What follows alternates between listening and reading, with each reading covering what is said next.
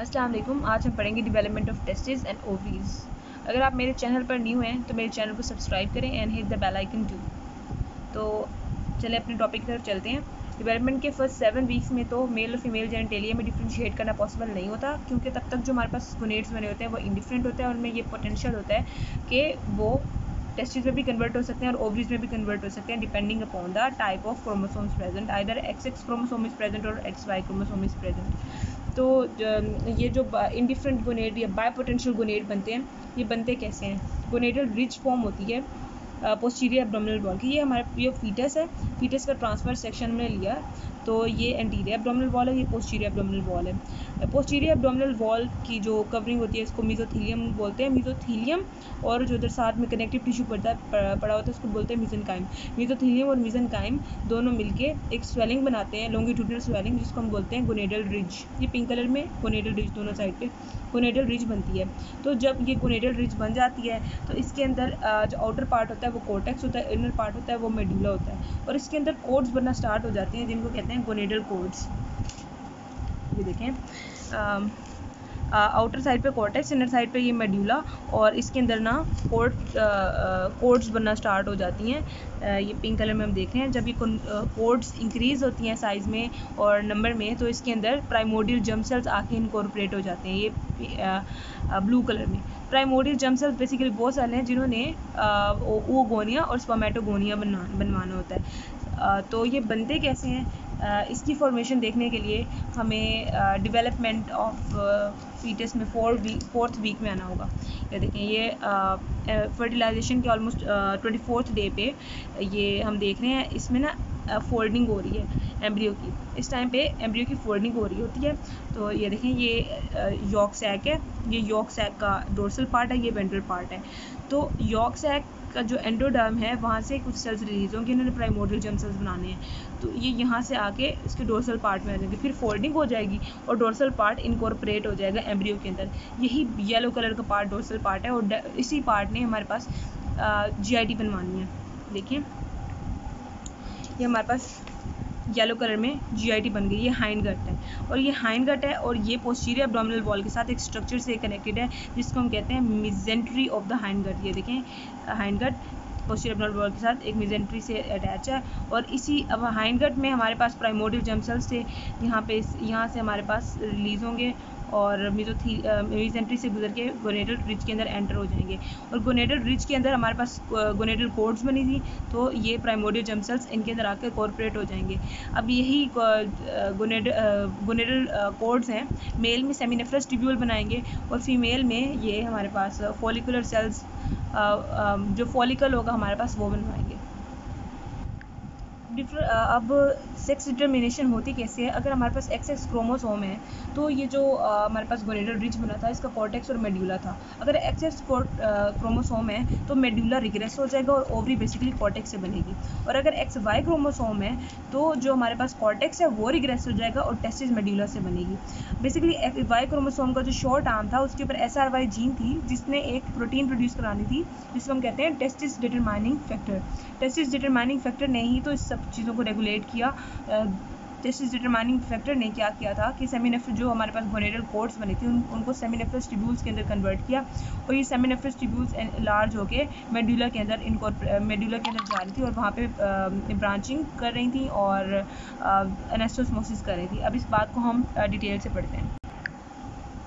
हमारे पास जो testis determining factor produce किया था एस आर वाई जीन ने देखिए डिवेलपमेंट ऑफ़ टेस्टिस हम पढ़ते हैं। डिवेलपमेंट ऑफ़ टेस्टिस डिटेल में जो एस आर वाई जीन था, उसने हमारे पास एक प्रोटीन प्रोड्यूस करवाई थी टेस्टिस डिटरमाइनिंग फैक्टर इसमें जो हमारे पास गोनेडल कोड्स बने थे, उसको मेल में हमने उसको सेमिनेफ्रस कोड्स कहा था, उनको कंडेंस करवाएगा और और उसको एक्सटेंड करवाएगा मेड्यूला में। मेड्यूला में वो ब्रांचिंग करेंगे और एनेस्टोसमोस होकर एलेटेड टेस्टिस बनाएँगे देखें ये हमारे पास सेमिनेफ्रस कोड्स थे।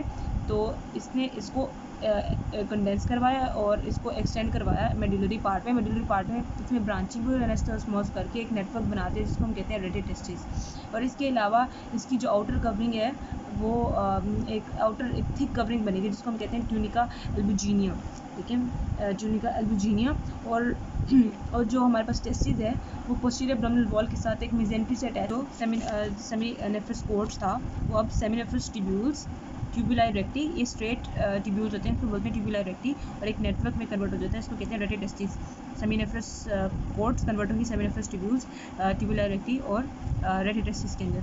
तो अब हम ये देखते हैं कि हमारे पास जो सेमिनेफ्रस ट्यूब्यूल्स हैं, वो आपस में अटैच नहीं होती. बीच में हमारे पास इंटरस्टिशियल सेल्स पड़े होते हैं.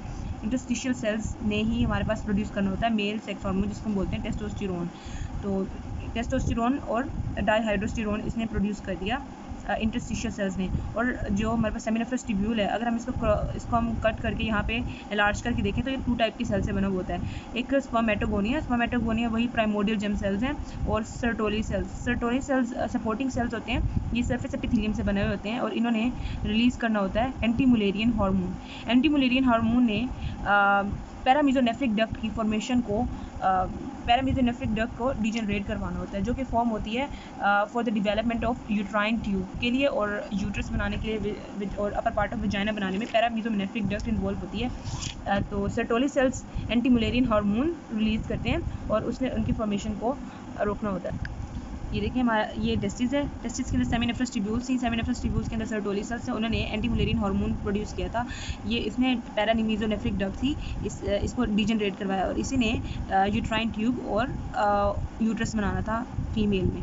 तो इसके बाद, उसके बाद हम ये देखते हैं कि ये जो रेटे टेस्टिस थे, इसने कंटिन्यू करना था डक्ट ऑफ़ एपिडिडीमस ये, अब हम अब हम देखते हैं कि ये जो एपिथीलिया, ये जो हमारे पास रेटे टेस्टिस है, इनकी ड्रेनेज कैसे होती है? इनकी ड्रेनेज ऐसे होती है, हमारे पास ये जो म्यूजोनेफ्रिक डक थी that was involve in the formation of the kidney इसकी वीडियो पार्ट वन में है, कि डिवेलपमेंट ऑफ़ किडनी की, वो देख सकते हैं। तो जो पैरामीजोनेफ्रिक ये सॉरी मीजोनेफ्रिक डक्ट होती है, ये देख रहे हैं। ये मीजोनेफ्रिक डक्ट थी that play that plays important role in the formation of the kidney तो इसमें जो रेडी टेस्टिस थे, ये तो हमारे पास कंप्लीट किडनी है उसका सेक्शन किया हुआ है। ये रेडी टेस्टिस इस ट्यूब के साथ कनेक्शन शो करती हैं through the through this structure इसको हम बोलते हैं इफ्रन डक्ट्यूल्स इफ्रन डक्ट्यूल्स और ये जो हमारे पास मीजोनेफ्रिक डक्ट है ये कन्वर्ट हो जाती है डक्ट ऑफ़ एपिडिडिमस में. अब हम बढ़ते हैं ओवरिक डेवलपमेंट मेल में तो टेस्टिस जेड मैन्युफैक्चर था वाई क्रोमोसोम की वजह से, लेकिन due to absence of Y chromosome testis determining factor female में एबसेंट होता है, जिसकी वजह से हमारे पास सेमिनेफ्रस ट्यूब्यूल्स सेमिनेफ्रस ट्यूब्यूल्स नहीं बन पाते और ये जो गोनेडल डक्ट्स होती हैं, ये मेड्यूला की तरफ़ नहीं जाती और वहाँ पे ब्रांचिंग नहीं करती। ये कॉटेक्स आउटर साइड पे ही रहती हैं और और मेड्यूला के अंदर रिड्यूमेंट्री हमारे पास रेटे ओवरीज बनती हैं, लेकिन बाद में अल्टीमेटली वो डिजनरेट हो जाती हैं। जब यही जेनेटल गोनेडल कोड्स हैं हमारे पास कुनेटल कोड्स जो है ना हमारे पास जैसे ये इनलार्ज होंगे तो इसके अंदर प्राइमोडियल जम सेल्स आके इनकॉर्पोरेट हो जाएँगे। तो प्राइमो प्राइमोडियल जम सेल्स इसके अंदर आके इनकॉर्पोरेट हो जाएँगे। लेकिन ये जो गोनेडल डक्ट्स हैं, ये हमारे पास बनेंगी तो सही, लेकिन बाद में ये भी ब्रेक हो जाएँगी और आइसोलेटेड सेल क्लस्टर्स बन जाएँगे, जिसको हम बोलते हैं प्राइमोडियल फॉलिकल प्राइमोडियल फॉलिकल के अंदर हमारे पास इनर साइड पे वो गोनियम होता है और आउटर साइड पे फॉलिकुलर सेल्स होते हैं। वो गोनियम यही होता है प्राइमोडियल वो गोनियम यही होता है प्राइमोडियल जम सेल्स से बना होता है, वो गोनियम, ये देखें। और उसके आउटर साइड पे फॉलिकुलर सेल्स होते हैं। और फिर इसके आउटर साइड पे एक थिन फिब्रस कैप्सूल बनता है, जिसको हम कहते हैं tunica albuginea tunica albuginea males में बहुत थिक होता है, लेकिन फीमेल में बहुत ही थिन होता है। और और ये जिस स्ट्रक्चर से सस्पेंडेड होती है ओवरी उसको कहते हैं मिजेंट्री आज की वीडियो में बस इतना ही। अल्लाह हाफिज़।